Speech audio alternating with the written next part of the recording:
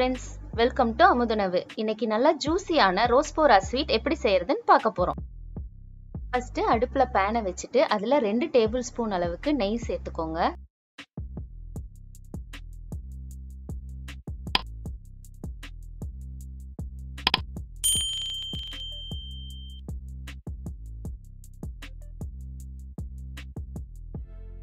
நெய் உருகினதுக்கு அப்புறம் இதுல அரை கப் அளவுக்கு ரவை சேர்த்துக்கோங்க. இந்த ரவையை வந்து நெய்லேயே கொஞ்சம் நேரம் நம்ம வறுக்கணும். இதை எந்த அளவுக்கு வறுக்கணும் அப்படின்னு நான் உங்களுக்கு காட்டுறேன். இந்த ரவையுடைய கலர் வந்து கொஞ்சமா மாறி வரும். அது வரைக்கும் நம்ம இதை வறுத்துக்கணும். அடுத்து கால் டீஸ்பூன் அளவுக்கு ஏலக்காய் பவுடர் சேர்த்துக்கோங்க. இந்த ரோஸ்போரா ஸ்வீட் வந்து ஒரு ஃபேமஸான பெங்காலி ஸ்வீட்டுங்க. வீட்டில் இருக்க பொருளை வச்சே சிம்பிளாக செய்யக்கூடிய ஒரு ஸ்வீட் தான். ஒரு டென் மினிட்ஸ்லேயே செஞ்சிடலாம். இப்போ பாருங்கள் இந்த ரவையுடைய கலர் வந்து நல்லா மாறி வந்துருச்சு. இப்போ நம்ம இதில் வந்து பால் சேர்க்க போகிறோம் பால் வந்து காய்ச்சின பாலாக இருக்கணும். அதுவும் நல்லா சூடாக இருக்கிற பாலாக எடுத்து வச்சுக்கோங்க. இந்த பாலை கொஞ்சம் கொஞ்சமாக சேர்த்து நம்ம கிளறிட்டே இருக்கணும்.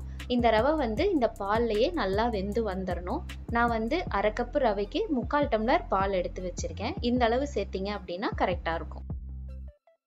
இது கிளறும் போது அடுப்பை வந்து நல்லா சிம்மில் வச்சுக்கணுங்க. ஹையில் வச்சுட்டோம் அப்படின்னா பால் சீக்கிரம் நம்ம ஊற்ற ஊற்ற சுண்டிக்கிட்டே வரும். ஆனால் ரவை வந்து நல்லா வெந்து வந்திருக்காது. அப்போ ரவை சரியாக வேகலைன்னா நம்மளுக்கு உருண்டை பிடிக்க வராது. அதனால நல்லா சிம்மில் வச்சு கிளறிட்டே வந்தீங்கன்னா ரவை வந்து நல்லா வெந்துடும் இப்போ பாருங்க ரவை வந்து நல்லா வெந்துருச்சு. பார்க்கும்போதே தெரியுது இல்லையா? பாலும் நல்லா சுண்டி வந்துருச்சு. இந்த ஸ்டேஜில் நம்ம அடுப்பை ஆஃப் பண்ணிடலாம். இப்போ நம்ம வேக வச்ச ரவையை ஒரு பவுலுக்கு மாற்றிக்கலாம்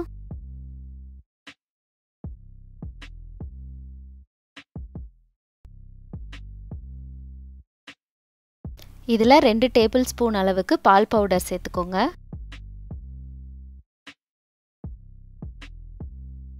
கால் டீஸ்பூன் ஏலக்காய் பவுடர். கால் டீஸ்பூன் பேக்கிங் சோடா. அடுத்து மூணு டேபிள் ஸ்பூன் அளவுக்கு காய்ச்சின பால். இப்போ இது எல்லாத்தையும் ஒன்றா சேர்த்து நம்ம பிசைஞ்சுக்க போகிறோம் நான் ஏன் காய்ச்சின பால்னு அழுத்தி சொன்னேன் அப்படின்னா ரவா லட்டு வீடியோவில் ஒரு வியூவர் கேட்டிருந்தாங்க. பால் ஊற்றணும்னு சொல்லியிருந்தீங்க இது காய்ச்சின பால் தானா அப்படின்னு கேட்டிருந்தாங்க. அதனால தான் இதில் சொல்லியிருக்கேன். இப்போ இதை வந்து நல்லா சாஃப்டாக வர்ற வரைக்கும் இதை நல்லா பிசைஞ்சு எடுத்துக்க போகிறோம் இப்போ பாருங்கள் எந்த அளவுக்கு சாஃப்டாக பிசைஞ்சிருக்கேன்னு. இதை வந்து ஒரு டென் டு ஃபிஃப்டீன் மினிட்ஸ் ஆகுது நல்லா பிசையணும். அப்போ தான் இந்த அளவுக்கு சாஃப்டாக வரும்.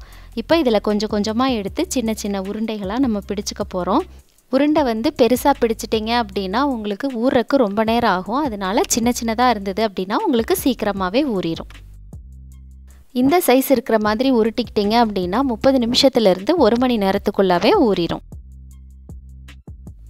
இப்போ இந்த உருண்டையை உள்ளங்கையில் வச்சு லைட்டாக அழுத்திக்கிட்டிங்க அப்படின்னா இந்த மாதிரி ஒரு ஷேப்பில் உங்களுக்கு கிடச்சிரும். அதுக்கப்புறம் சைடில் இந்த மாதிரி லைட்டாக அமுக்கிட்டீங்க அப்படின்னா உங்களுக்கு எண்ணெய்க்குள்ளே போட்டு பொறிச்சு எடுக்கும்போது உங்களுக்கு பிரிஞ்சு வராது.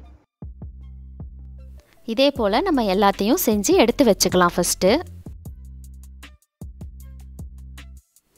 அடுத்து இந்த ஸ்வீட்டுக்கு தேவையான சர்க்கரை பாவு செய்ய போகிறோம் அடுப்பில் பேனை வச்சுட்டு ஒரு கப் அளவுக்கு சர்க்கரை சேர்த்துக்கோங்க.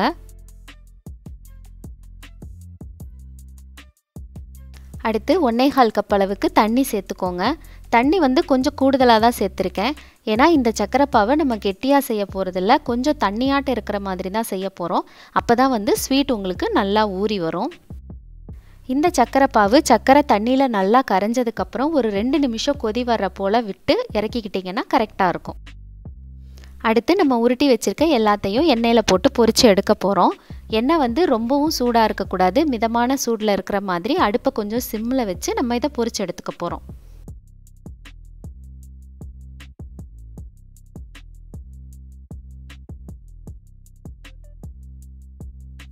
இதை ரெண்டு சைடும் நல்லா திருப்பி திருப்பி விட்டு நல்ல ஒரு ப்ரௌன் கலர் வர்ற வரைக்கும் நம்ம இதை பொறிச்சு எடுக்கணும். எந்த அளவுக்கு வரணும் அப்படின்னு சொல்லி நான் உங்களுக்கு காட்டுறேன்.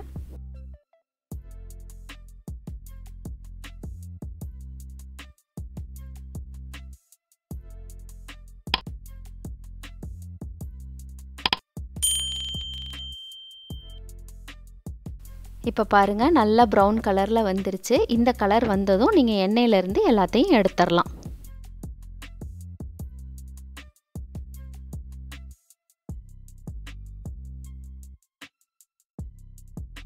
இப்போ நம்ம எண்ணெயை நல்லா வடிச்சிட்டு நம்ம ரெடி பண்ணி வச்சுருக்கோம் இல்லையா? அந்த சக்கரை பாவில் நம்ம இதை போட்டுற போகிறோம் இது முப்பது நிமிஷத்துலேருந்து ஒரு மணி நேரம் வரைக்கும் நம்ம சக்கரை பாவிலையே விட்டுறணும். அப்போ தான் நல்லா ஊறி வரும். இது ஊறுற சமயத்தில் அடிக்கடி ரெண்டு சைடும் திருப்பி திருப்பி விட்டுருங்க. அப்போ உங்களுக்கு நல்லா ஊறிடும் அவ்வளோதாங்க நம்ம ரோஸ்போரா ஸ்வீட் சூப்பராக ரெடி ஆயிடுச்சு இது எந்த அளவுக்கு சாஃப்டாகவும் ஜூஸியாகவும் இருக்குது அப்படின்னு நான் காட்டுறேன் பாருங்கள் இந்த ஸ்வீட்டை நீங்களும் உங்கள் வீட்டில் ட்ரை பண்ணி பார்த்துட்டு உங்கள் ஃபீட்பேக்கை எனக்கு கமெண்ட்ஸில் சொல்லுங்கள் இந்த வீடியோ பிடிச்சிருந்ததுன்னா லைக் பண்ணுங்கள் மறக்காமல் சப்ஸ்கிரைப் பண்ணுங்கள் உங்கள் ஃப்ரெண்ட்ஸ் அண்ட் ஃபேமிலிக்கும் ஷேர் பண்ணுங்கள் தேங்க்யூ ஸோ மச்